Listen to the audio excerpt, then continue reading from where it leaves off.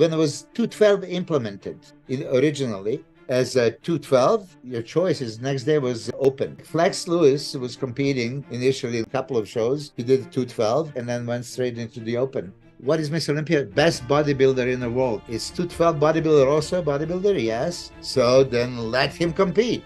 If 212 has to compete in prejudging and a finals, then they have to compete in a prejudging and a finals. The open guy shouldn't have anything to worry about. This 212 guy should be gassed by the time he gets to the finals. You're there already. I could compete all day in all the classes. It's not like, oh, you, you just competed here in 212 and now you have to go on the stage again. So what? You do get worked when they're putting you through the poses. Let's not kid ourselves.